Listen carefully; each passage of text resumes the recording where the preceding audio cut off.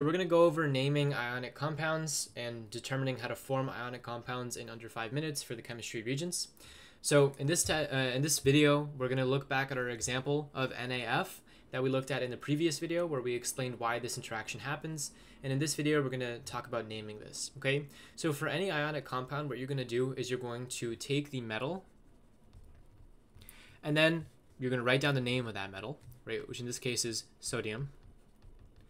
And then you're going to take the metal, sorry, the name of the non-metal, and then give it the ending IDE. So usually this is fluorine,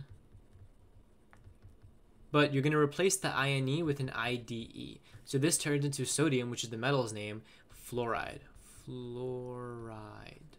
Okay, and that's how you name this. That's all. And if you want to write the formula, you just put it as NAF. This is the uh, ionic bond notation. That's how you would write it if they asked you uh, for that. So let's go over another example of figuring out the formula and the name.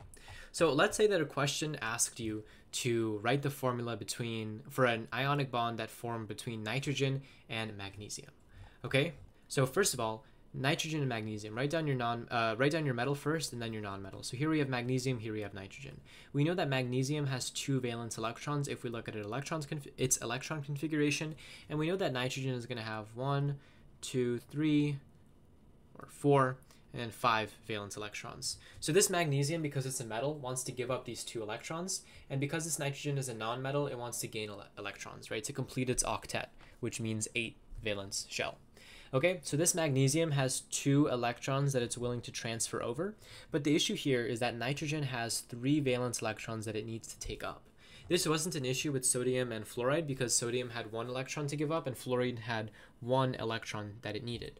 In this case, we have a difference in the number of electrons. So how do we work around this difference? Well, what needs to happen is we need to find the lowest common multiple between these two numbers.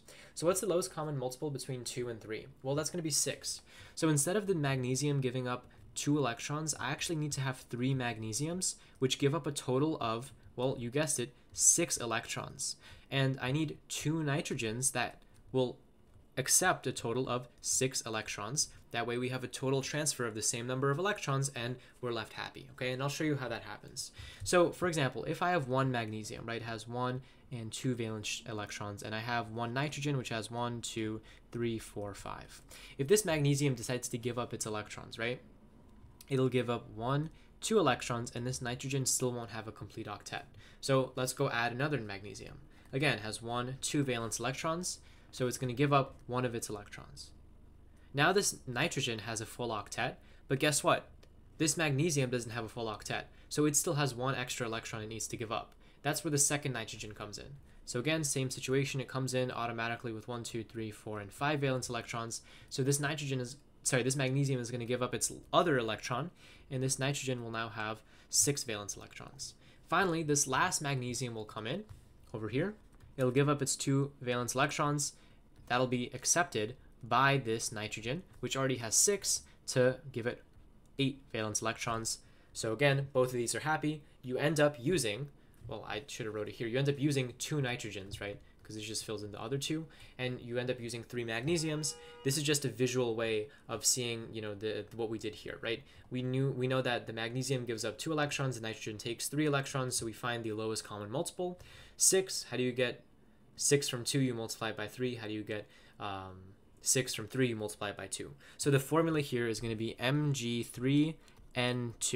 And if I wanted to name this, we'll follow our naming nomenclature here, right? Or I guess that's a nomenclature, just how you name something, right? You don't need to say naming nomenclature, just nomenclature. So metal followed by the non-metal that ends with IDE. So the metal here is magnesium. So magnesium. And nitrogen, we'll just put nitride because instead of nitrogen, this needs to end in ID. So we get rid of the OGN, uh, OGN and we replace it with IDE. So this is magnesium nitride. That's how you write this down. And of course, the magnesium will have a plus 2 charge and the nitrogen will have a minus 3 charge because it gained three negatively charged electrons. For ionic compounds, the lettering here, or sorry, the numbering here does not get incorporated into the name. So it's not trioxide or trinitride, just magnesium nitride.